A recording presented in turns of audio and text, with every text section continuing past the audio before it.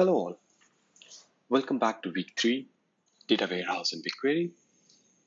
In today's lecture, we are going to talk about BigQuery best practices.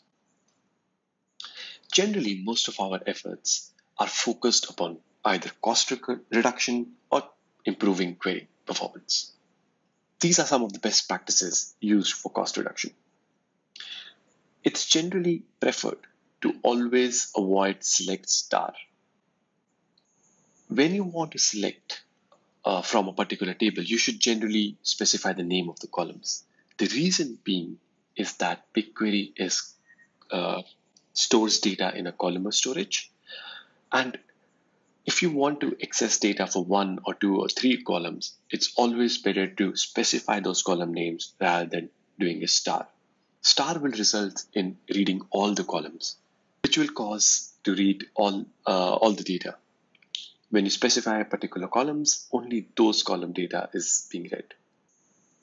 You should always price your query before running them. The price can be seen on the right hand side top corner. Obviously, we have discussed in detail about clustering and partitioning, and they help a lot in terms of cost reduction. If you are doing streaming inserts, use them with caution. They can actually increase your cost drastically. You should always materialize queries uh, into different stages.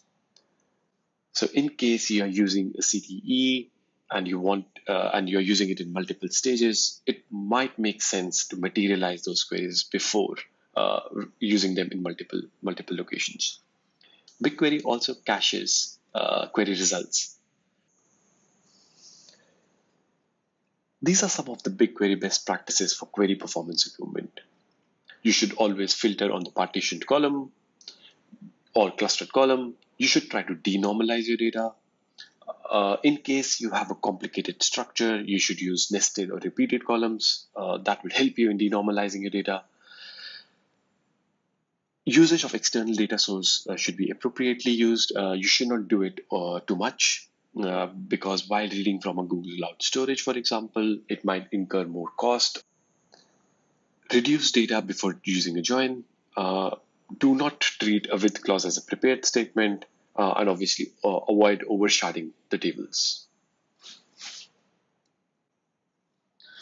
Some of the other uh, BigQuery query performance is uh, to avoid using JavaScript and user-defined functions, uh, used uh, approximation aggregation functions rather than the complete one, such as HyperLogLog plus.